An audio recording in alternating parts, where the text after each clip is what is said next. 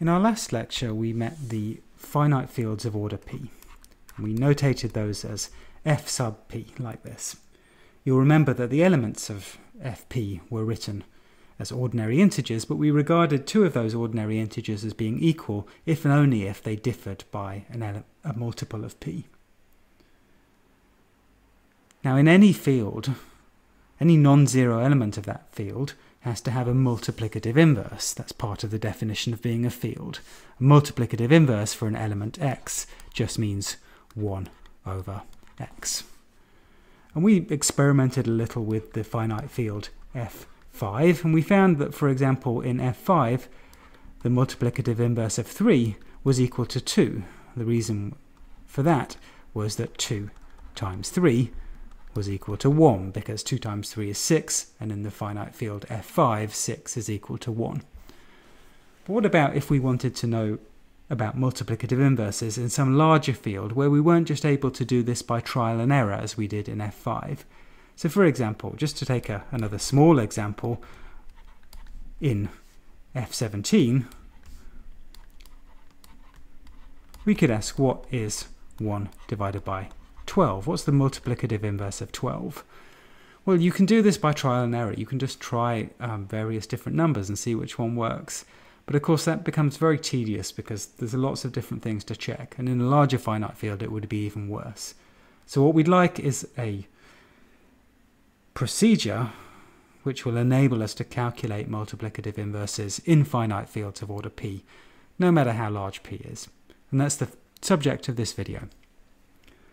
I'm going to begin with a reminder of division with remainder. So if we have two positive integers x and y, then what division with remainder is, is the following statement. So it says that there exist positive integers q and r such that x is q times y plus r, and r is greater than or equal to 0 but less than y. So what's going on here is you try and divide x by y, and you get a quotient q and a remainder r. When you divide by y, the remainder is always less than r. So for example, if you want to divide 17 by 5, well, you can't do it exactly, but you can write 17 as 3 times 5 plus a remainder of 2. So here is my y, here is my remainder, here is my x. Uh, equally, if we want to divide 31 by 7, then 31 is equal to 4 times 7, that's 28, plus a remainder of 3. So here, my y is 7, my x is 31, my q was 4, and my remainder was 3. That's division with remainder. And division with remainder is what's going to help us to come up with multiplicative inverses in finite fields with p elements. So what's on this slide is a theorem here. It says if p is a prime number and a is a whole number between 0 and p, then there exist whole numbers s and t such that a times s plus p times t is equal to 1. So why is this helpful in our quest for multiplicative inverses? Well, the answer to that is that this number s is the multiplicative inverse for a in the finite field fp.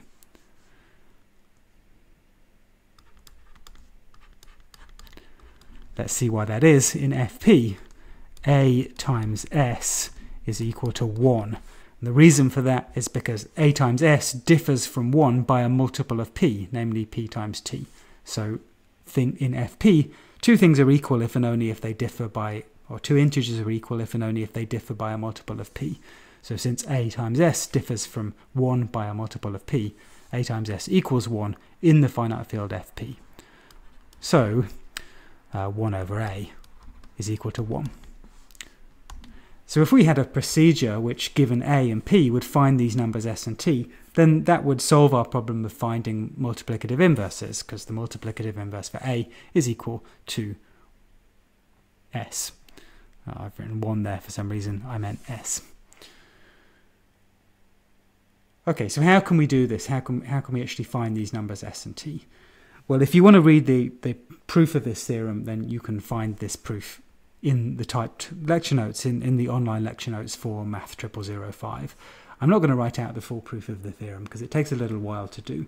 What I will do is show you how the proof of the theorem works and how you go about finding these numbers s and t. What the proof does is does a sequence of divisions with a remainder. First of all, it divides p by a. So we get p is a quotient times a plus a remainder, which I'm going to call r2 just for consistency with the notation in my proof in the online notes, where what we get to assume is that r2 is less than a. That's the property that remainders have. They're smaller than the thing you divided by. Okay, next step, we divide a by r2. So we get a quotient times r2 plus a remainder r3, and this time r3 is less than r2. Okay, let's say we do it again. This time we divide r2 by r3 and we get a remainder r4 which is less than r3. Okay, you can see that these remainders keep decreasing. They keep strictly decreasing in fact. So eventually, because they're whole numbers, they've got to hit zero. So let's say at the next stage, R3 equals Q, 5, R4, and let's say the next remainder was actually zero. So sooner or later it's going to happen. And just to illustrate my proof, I'm going to assume that actually this happened for the first time uh, when we took R5. So R5 was equal to zero. So I claim that actually the last non-zero remainder, in this case R4, must be equal to 1. So in this case, so the case when R4 was the last non-zero remainder, R4 must be equal to 1. Well, why is that? So I'm going to establish that by showing you that R4 actually is a divisor of the prime number P. So it's a positive number. It's less than P because it's less than R3 and R3 is less than R2 and R2 is less than A and A is less than P. So if it divides P and it's less than P, then because P is a prime number, it must be 1. So this is true because, well, let's look line by line at what happens. So looking at this line, R4 is a divisor of R3. R3 is a multiple of R4, so R4 divides R3. So from this line, R4 divides R3. But now let's look at the next line up. So on this line here, you have R4 here, and you have R3, which is a multiple of R4. So the whole right-hand side is divisible by R4. And that means the left-hand side is divisible by R4 as well. So this, in this side, R4 divides R2. Okay, moving a line up, um, R3 is divisible by R4, we know this. R2 is divisible by R4, so the whole right-hand side of that equation is divisible by R4, so the left-hand side is divisible by R4 too. So R4 divides A. And then finally, making the same argument on the top line, we get R4 divides the prime number P. So just as some notation here, just in case you're not familiar with this, when I write U line V like this, let me make that a bit straighter, U line, come on, U line V like this means U divides V, or V is a multiple of U. Alright, what have we done? We've established that R4 is a divisor of the prime number P, and so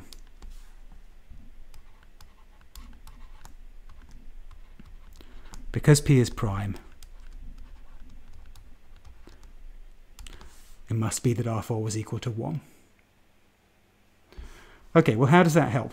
Um, it enables us to rewrite this um, third line here. So let's go back to line 3 here, And let's see what we can say now. So what have I got? I've got R2 is equal to Q for R3 plus 1.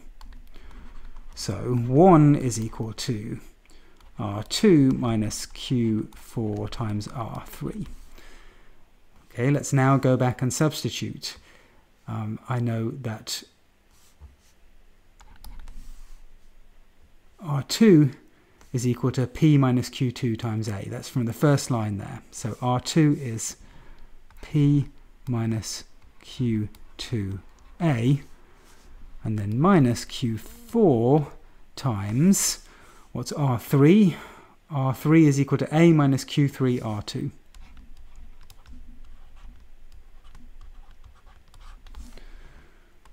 Okay, what have I got now? P minus Q2 times A minus Q4 times A minus Q3 times, what's R2? It's P minus Q2A.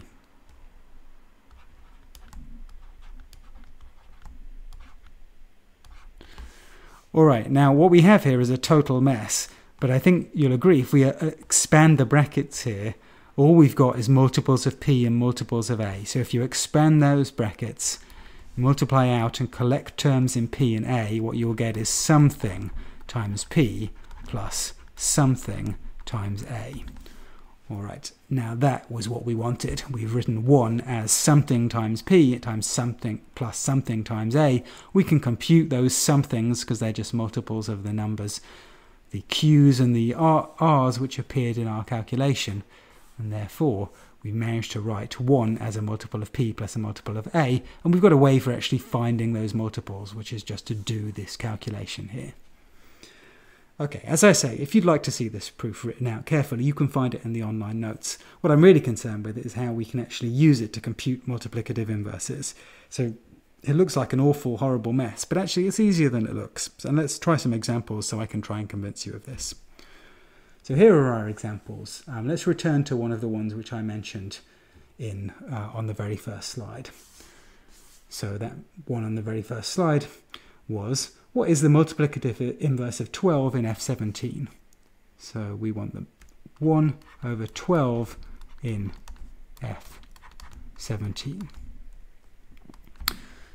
So how do we do this? Well, what the procedure which we had on the previous slide was, was simply to do lots of division with the remainders. So we start off with 17 is 1 times 12 plus 5. Right, so we divided 17 by 12, we got a remainder of 5. And then next, we divide 12 by 5. So that's 2 times 5 plus 2. Next step, we divide 5 by 2 and we get 5 is equal to 2 times 2 plus 1. And we can actually stop here because this remainder is 1, so we're ready to do our back substitution. So now, what we're going to do is we're going to rearrange these equations to get give 1 as a multiple of 17 plus a multiple of 12. So, what are we doing? 1 is equal to 5 minus 2 times 2, which is, well, 5 is 17 minus 12. And we've got 2 times, well, where was 2? 2 first appeared as 12 minus 2 times 5. And that is 17 minus 12 minus 2 times 12 minus 2 times 17 minus 12. Okay, um, so if you multiply those out, just collect the terms in 17. How many 17s have I got? I have five 17s there, and I have 7 minus 7 12s. Uh, if you check that, you'll find it's correct. Um, so what we've got is now we've computed the inverse of 12 in F17 and the answer would be whatever you multiplied 12 by. So the answer here is minus 7, not 7, minus 7. So our conclusion, oops, wrong drawing tool. So 1 over 12 is equal to minus 7 in F17. And if you'd like that as a positive number, of course, you could notice that minus 7 is the same as 10 in F17.